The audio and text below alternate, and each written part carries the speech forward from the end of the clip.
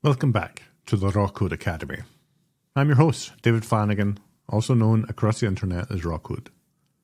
Today, we're going to take a look at how to make troubleshooting your microservice life all a little bit easier. And let's face it, this is something we all need. Microservices are difficult. Whether you're adopting a monorepository, building out completely new CI CD pipelines, or trying to observe, understand, and react to problems within your production infrastructure across your new plethora of microservices. You're constantly facing challenge after challenge after challenge. So it's nice when a tool can come along and make some of these challenges disappear. And Lumigo is the perfect tool to come in and make distributed tracing and observability almost child's play. Let's take a look. So on a surface level, Lumigo is a distributed tracing tool. But when you go deeper, it surfaces so much more. But let's start at the top. Do we need another distributed tracing tool? Well, yes. Lumigo works and supports OpenTelemetry. It also supports zero touch automatic instrumentation of your services. That means you can deploy Lumigo to your cluster, like I'm about to do now, and you will get distributed tracing without changing a single line of code. As we explore the Lumigo dashboard, you'll start to see and understand that it is much more than automagic instrumentation. It gives you the ability to browse and understand these distributed traces in a way that reveals much more information than I've seen from other tools, allowing you to introspect the entire request object, view service maps, and a whole bunch more. I've said enough. Let's deploy Lumigo to our cluster. All right, let's log in to Lumigo. I've already signed up for an account but it just takes a second. You can set up with a username and password, or like I used, my Google authentication. I've already explored Lumigo in preparation for this video, so what I'm going to do is create a new project. And I'll call this one the actual demo, because I have many other similar names.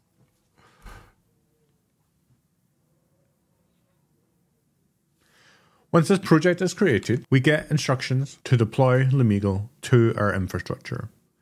Lumigo doesn't just support Kubernetes, although that is going to be the focus of my video today. It also works with ECS and AWS Lambda. We're going to click on Kubernetes and use the Helm operator, or at least we're going to use Helm to deploy the Lumigo operator to get the Automagic instrumentation. From here, we can start to copy repository add commands followed by helm install, which just wants our cluster name, which can be anything that we wish to call it. And then we need the ability to create a secret inside of a namespace so that the operator can consume it and write to our Lumigo instance. So let's start with step one, deploying the operator with Helm. Let's jump over to our terminal and I'll pop open VS Code to give us an empty buffer. Instead of chaining these commands together, we're just going to split them up. And I like to format them in a way that they make sense when I look back at them later. So step one, let's add the repository, like so. I have already done this, so it's already there. Next, we're going to do a Helm install, and we'll install it to the default namespace of Lumigo system, which is a very weird sentence now that I think about it. If this namespace doesn't exist, we're going to create it. And I'm going to call this cluster Docker Desktop because I'm using Docker for Mac for this Kubernetes cluster. We can copy the installation command and paste to our terminal. Easy. Next, we want to create a secret with our token.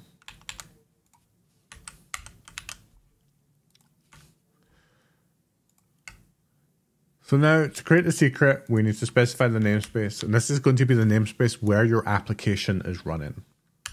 So I'm just going to call this app, and we'll call the secret Lumigo credentials like suggested from a literal value, and this is my real Lumigo token. Hopefully, it won't exist by the time you see this video. We can jump back to the terminal, where we can do kube control, create namespace, app, followed by our secret creation. If we run kube control, get secrets, and our app namespace, we'll see it now exists. Lastly, we copy the code to configure our namespace for Lumigo. Simple. Okay, let's deploy our sample application. We're using the OpenTelemetry demo application, which comes with a single manifest for deploying to a Kubernetes cluster.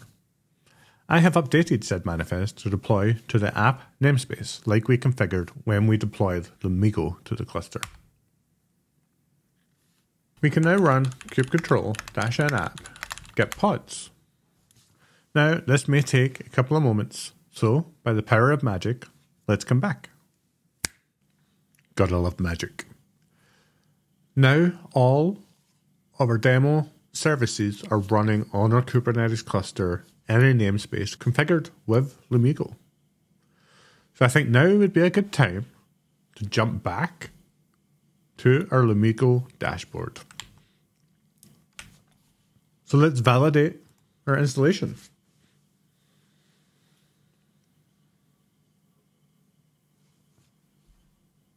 Awesome. All right, so let's give Lumigo a little bit of data to work with.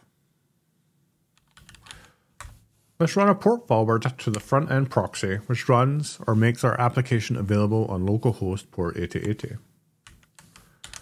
From here, we can see the OpenTelemetry demo application. Let's go shopping for some binoculars.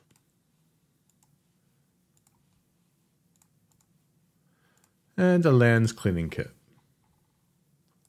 Now we place our order like so. Let's jump back to the Lumigo and see what we can see. It now tells us our application is sending traces to Lumigo. We're currently on the Livetail page and we can see these requests streaming in in real time. I'd like to start off by taking a look at the system map. Here we have a visual representation of all of the services within our cluster, or at least the ones that have ambient traffic running through it or we hit through clicking around on the shopping page. We can see the payment service, the ad service, the cart service, currency service, front end, feature flags, and so forth. We can see that it speaks to a Redis, it's using port 443, and this, I believe, is our device. So let's go to the dashboard. And now we can see, because this application has only been running for a few minutes, we got a couple of failures, some requests, and some information on the duration of these functions or these services. We can actually see the P99 and P95 of these services based on the limited information that we have thus far. So now let's pop over to transactions. From here, we can begin to understand the requests within our application. We can see on this one request, we started off at the front end.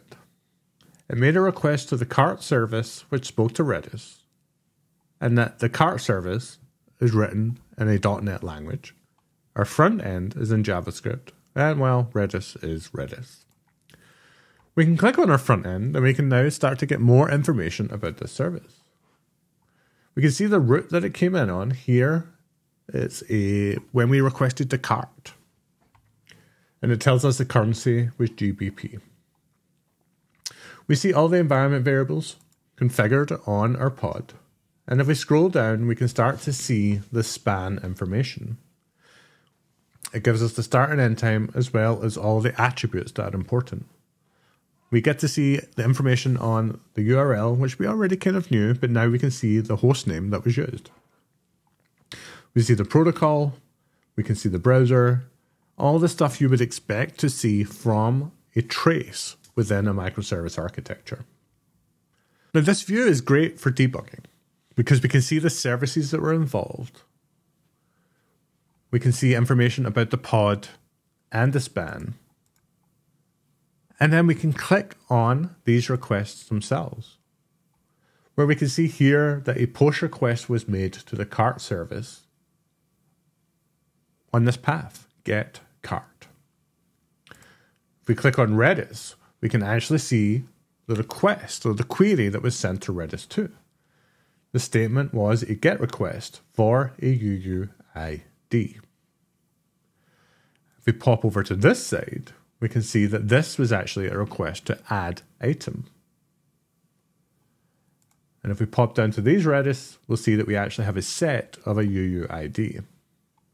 So this transaction from a single request ID propagated through the system was actually what happened when we added something to the cart it also fetched an update and returned it to our client.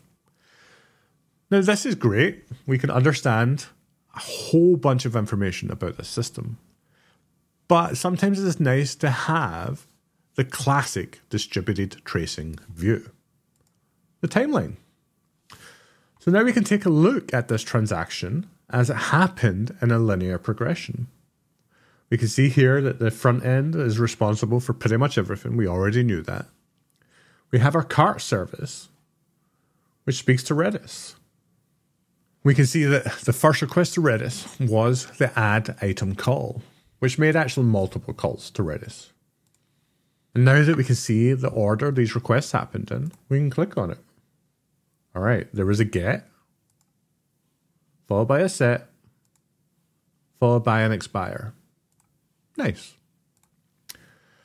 Once the added item to the cart, the cart service then made one more request to Redis. This time the GET request. Now we get to understand how, over time, the requests propagated through our system. So let's take a look at something else. Down here, we have some request that took almost five seconds. So let's take a look at it. This request goes through a whole bunch more services. We can see here, and here, and here. We've got a whole bunch of gRPC and a whole bunch of Kubernetes services. Let's take a look at the timeline. We can see that this is, is the front end speaking to a recommendation service. When we viewed a product, it wanted to show us more that were just like it. This requires a whole bunch of gRPC calls. The first one to get a list of recommendations, followed by subsequent requests to get the product information. Eventually, this is all returned, and it even requires a lookup to the feature flag service. We can click on the feature flag service, and we can see it was trying to understand if a feature flag is enabled. The product catalog failure. In this case, it was false, so we didn't get an error. And right away, we're seeing the core value of a tool like Lumigo. You don't need to understand an application as a whole at a macro level when it is built of lots of smaller microservices. We could focus on just the debugging and observability, and we are going to dive into looking at how that works with Lumigo. But as an ability to onboard new people to your team, instrumentation is key. Much like testing is invaluable for learning how code should work, good observability tools can reveal the same on an architecture level, and not just an architecture level. Here we can see that we have feature flags, we have Redis, we're using gRPC, we have all of these services working together and we have a good understanding of how that happens. So thank you, Lumigo.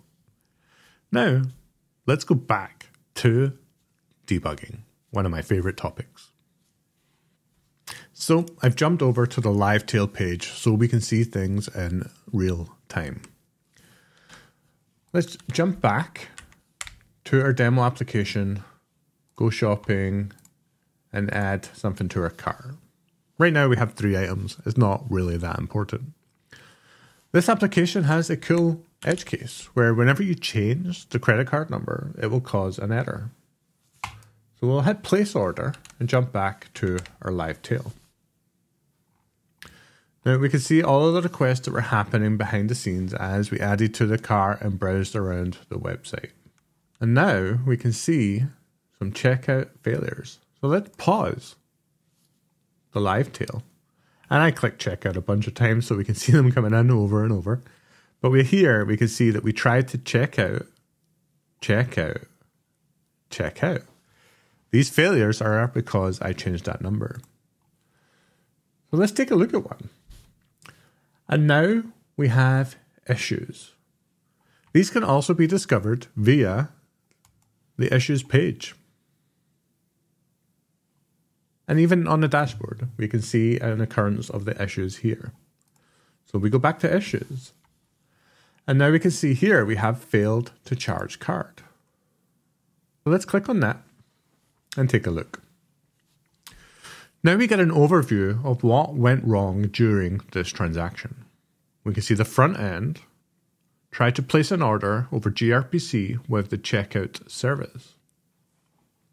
And we can see the actual error message or the exception thrown by the application. We can see here that it failed to charge the card, and that's because the card number didn't work. And just to show you that this definitely does work, let's change it back to the correct number. And it works. So we get more information as things happen, even when they are exceptions with this integration of logs right next to the trace. Now, there are some really nice value add features here too. One, I can assign this to somebody. I can create a Jira ticket if I have it integrated. And if we know about this issue, maybe we want to mute it for a few days while we work on a fix. Now, there are a ton more features we could take a look at in Lumigo but we want to keep this video short and sweet. But before we go, let's click on Kubernetes. Here we get a good visual representation of our Kubernetes cluster. We can see all of the workloads deployed, the cluster name, the kind, namespace, when they were modified, any issues that are relevant or are happened in the last span of one hour, because that is what we have the window set to. If we click on one of the workloads, we can see the Kubernetes events from deleting pods, scaling replica sets, and even creating the deployments and so forth, as well as any application issues at the bottom. We have a very nice visual representation of that timeline too. Let's go back and click on our front end service.